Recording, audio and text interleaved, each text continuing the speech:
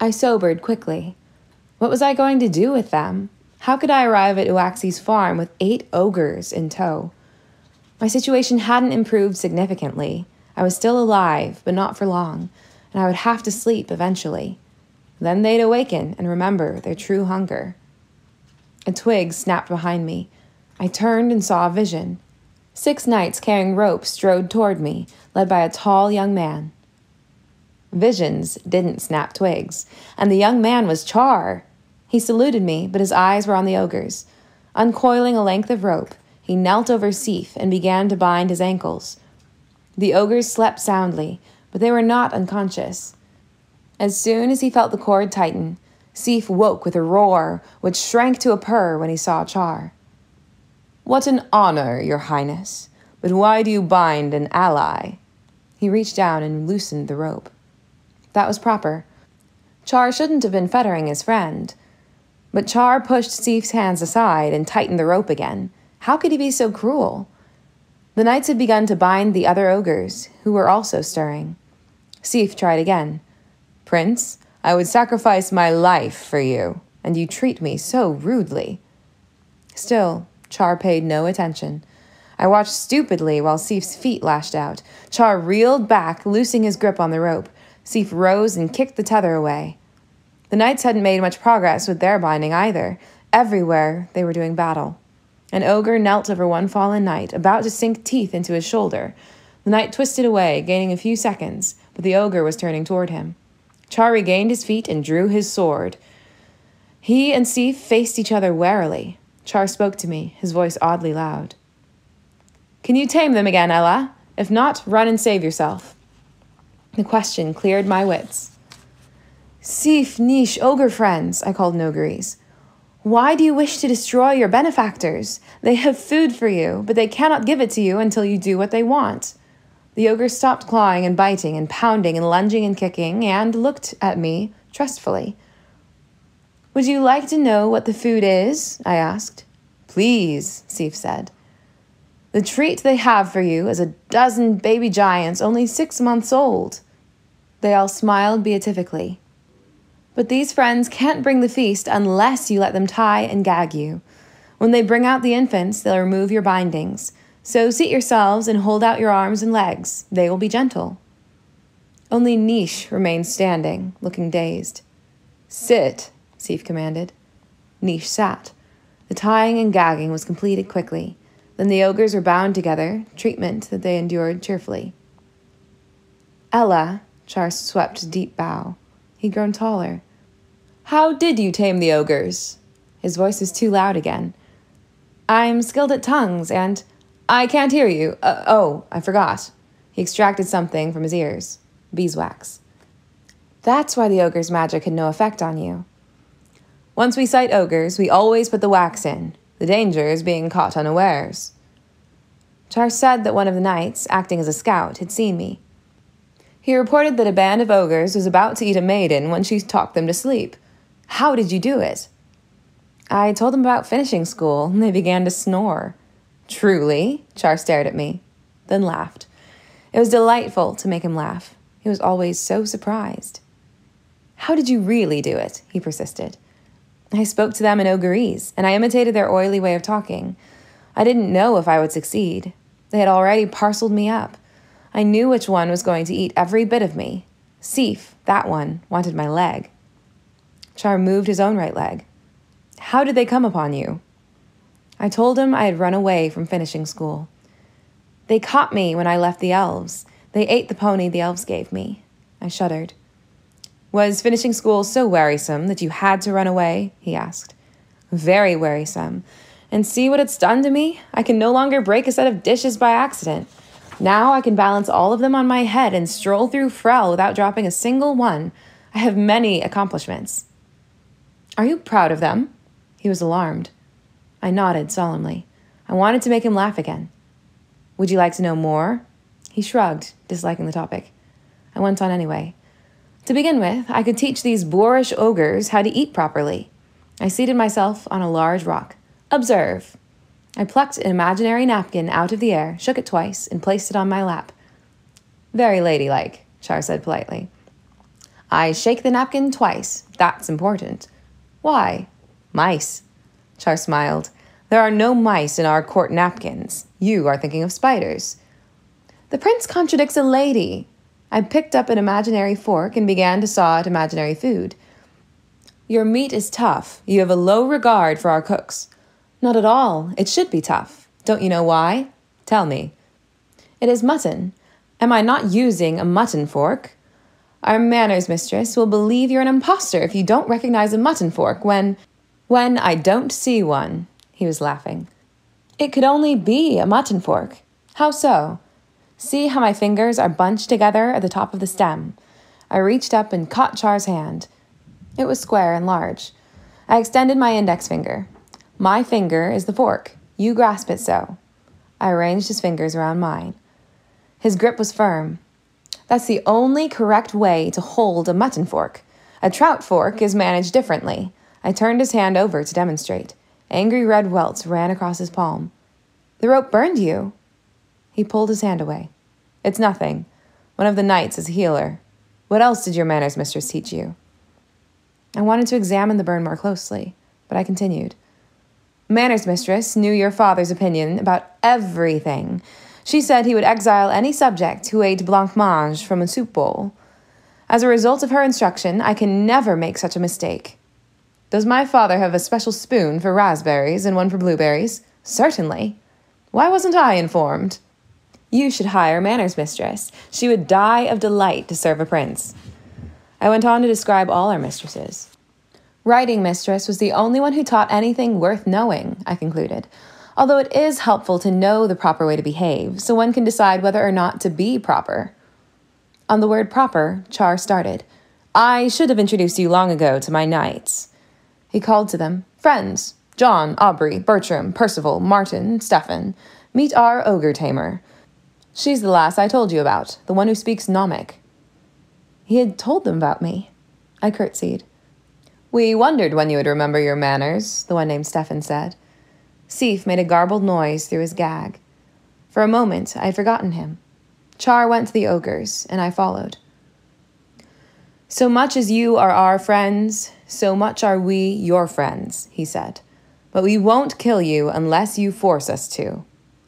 For an instant, Sif looked dumbstruck. Then he began to struggle violently against his bonds. The other ogres did likewise, and shrieked through their gags as well. The ropes held, and they quieted slowly. Sif glared at me with such rage and hate that I fell back a step. I held his gaze, however.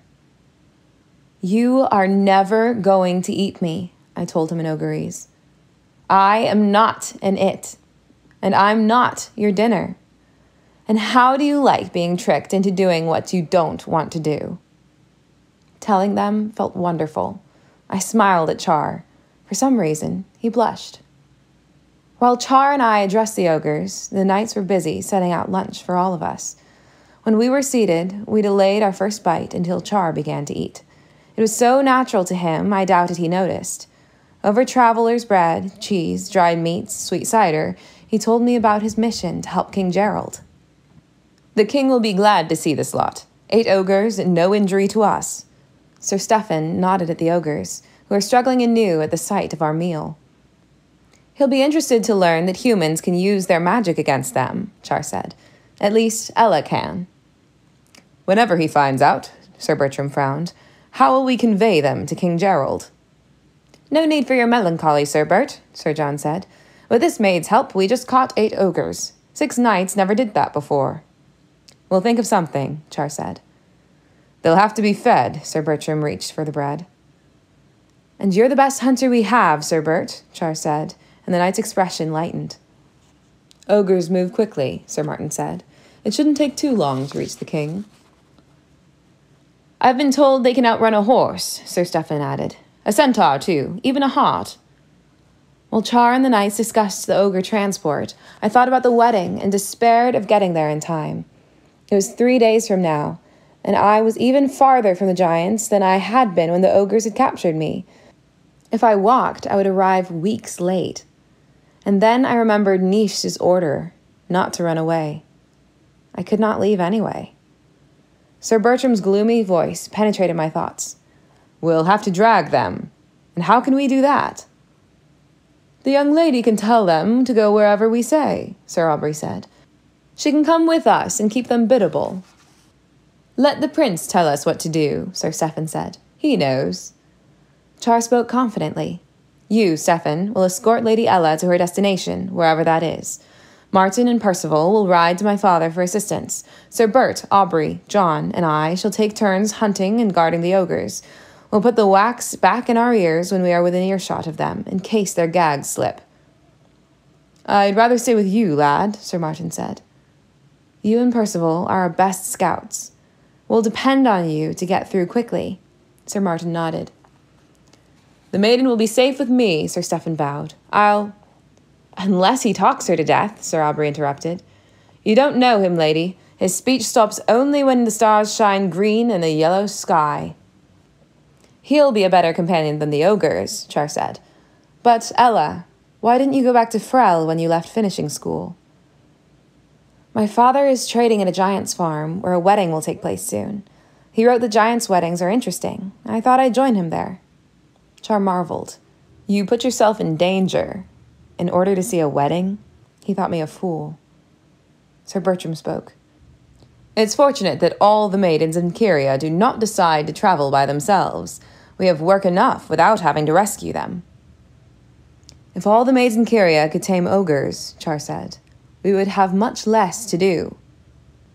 Perhaps not such a fool, after all. After lunch, Sir Stephen mounted his horse, and Char lifted me behind him. As soon as he did, my curse caused complaints began. In a moment, I was going to fall off the horse. The curse wasn't going to let me abandon the ogres. I don't like to leave you in danger, I said, starting to dismount. Go with Sir Stephen, said Char. We won't come to harm. It was an order. I could go. My symptoms stopped. Char caught the horse's bridle. Will you soon be in Frell again? If father doesn't send me back to finishing school, and if he doesn't want me to travel with him. Why did he want to know? Did he want me to be? Why do you ask? He didn't answer directly. I should be back shortly. These maneuvers never last long. He spoke as though he'd been on thousands. Perhaps I'll see you then, and you can tell me about the ogres you catch. Perhaps you can teach me how to tame an ogre. Athun Singh, I said. That's farewell. It sounds evil. It is, I answered, and we parted. Sir Stephen was indeed talkative. He had a small manor in Frell, a wife, four daughters, and two hounds. The hounds were the joy of his life. Smarter than pigs, cats, and dragons all rolled together, he said. As we rode, he recounted tale after tale of their bravery and cleverness. When do you think we'll reach the Giants? I asked when he stopped for breath. Three days, I should think. The day of the wedding. And we might arrive after it ended. Can we go any faster? I don't need much sleep. Maybe you don't, and I'm eager to get back to those ogres. But the horse needs his rest. We'll go as fast as he'll take us. I kicked the horse, hoping to spur him on and hoping Sir Stephen wouldn't notice. Sir Stephen didn't, and the horse didn't either. Sir Stephen began a tale about exhausted horses and a charge against dragons. When he finished, I hastily changed the subject. Do you like serving under the prince? Some might not fancy answering to a youngster, he said, but I'm a toiling knight. What's that? Not so noble I can't curry my own horse, nor so greedy I have no time to serve my king. Is Char a toiling prince? That's a good description of him, little lady. I never saw a lad, page or prince, so eager to learn to do a thing right. According to Sir Stephen, Char was almost as wonderful as the hounds. He wasn't only eager to learn, he did learn, and quickly. He was kind. They had departed Frell late because of his kindness. The cart of a fruit and vegetable seller had overturned in the road ahead of them. When the seller began screeching that everyone would trample his precious tomatoes and melons and lettuces, Char had us right to the cart, then he spent the better part of an hour on his hands and knees rescuing vegetables. As he rescued me. You're a long mile prettier than the grape or a squash, and you needed a long mile less rescuing. I never caught an ogre so neatly before. I turned the conversation away from me and back to Char.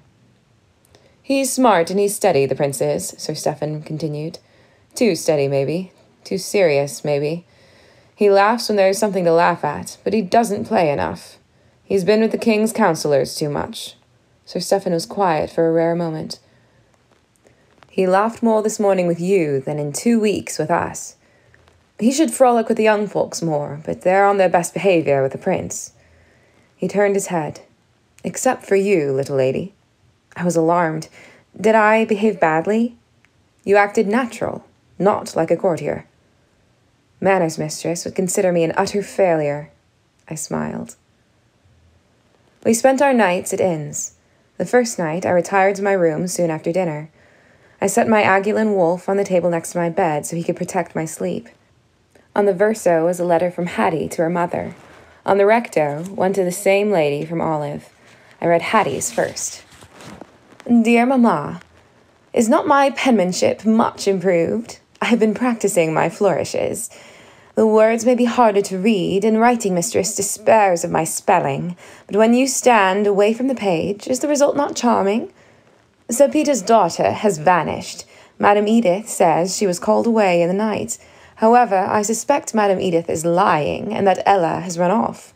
There is always something devious and deceitful about her, although her father is such a charming, rich man. My new tresses are divine, and I emerged among the other girls again two days ago when they arrived. I suspect my locks may have vanished with Ella. A heartless prank to play on me, who always treated her with kindness. But I still hope she has come to no harm, and has not been eaten by ogres, or captured by bandits, or caught fire, or fallen into bad company, as I often imagine. The rest of the letter recounted the compliments Hattie had received on the new gown. She ended with a farewell and the largest flourish of all the recto, Hattie. Dear Mother, I have been feeling poorly all week. I have headaches, especially when I read. You always say much reading is bad for the eyes, but writing mistress won't listen. She called me little more than an idiot and said there will be no hop for me when I am grown if I don't learn to read better. Hattie says Ella was bad to leave, but I think she was bad not to take me too. Ella did everything Hattie told her to. I wish people did what I want. It's not fair. Your miserable daughter, Olive. The whole page was full of blots and crossouts. Each letter was formed with a wobbly hand, as though the writer didn't know how to hold a pen. Poor Olive. Her letter was followed by a sad tale about the genie in Aladdin's lamp. He had been forced by Aladdin's false uncle, the magician, to take up residence in the lamp, and had been given power to grant everyone's wishes but his own. Before he was captured, he had been in love with a goose girl.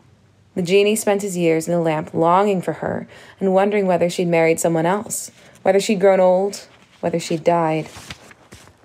I closed the book, weeping a little. I wasn't confined to a lamp, but I too was not free.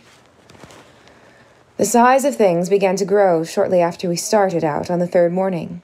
In the past, objects far away had always appeared smaller than objects close by, but now the old rule stood on its head the trees near to us were dwarfed by the trees in the distance ahead. At ten o'clock, I saw a pumpkin as wide as I was tall. At eleven, we passed one as big as a carriage. At noon, we saw a giant. He was building a stone wall out of boulders. It was already twice my height, and I shuddered to think of the livestock it would pen. When the giant saw us, he trumpeted his pleasure. Uayagi! Honk! he called dropping a rock and thundering toward us, his mouth open wide in a huge smile of welcome. Our horse reared in fright, and I struggled to keep my seat till the giant reached down and touched the beast gently on his muzzle. He quieted instantly, and even nuzzled against the giant's thigh. Aopi, ai u kobi, screech, u babi ayo, I said. It meant hello in Abdegi. We've come to attend the wedding of Uaxi's daughter. I added in Kyrrian. But are we too late? You're just in time. I'll lead you there. The farm was two hours away. Kupudak, the giant, strolled next to our horse. Is Uaxi expecting you? he asked. No, I answered. Will she mind? Mind? She won't be able to thank you enough for coming. Giants love strangers. He paused. And friends, too. Lots of friends and strangers will be there. We traveled in silence for a while, with Kapudak smiling down at us. Are you tired? Hungry? he asked presently. We're fine, Sir Stephen said, although I was starving. Everyone is polite, except giants. We say when we're hungry. Never mind. There's lots to eat at a giant's farm. Uaxi's house was visible an hour before we reached it. That's her house, Kapudak announced, pointing. It's nice, isn't it? Enormously nice, hugely nice, Sir Stephen said. Don't you think so, lass? I nodded. My heart began to pound so hard I thought it would catapult me backward off the horse. Soon I might find Lucinda. Soon I might be free.